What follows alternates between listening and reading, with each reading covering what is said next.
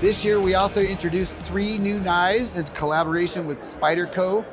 Spyderco is also based in Colorado as we are. We've got a rainbow trout, a brown trout, and a bonefish. All single-handed opening. The knife blade itself is what we call LC200N for Spyderco. It's actually a saltwater proof knife blade. These are also available at tridentflyfishing.com.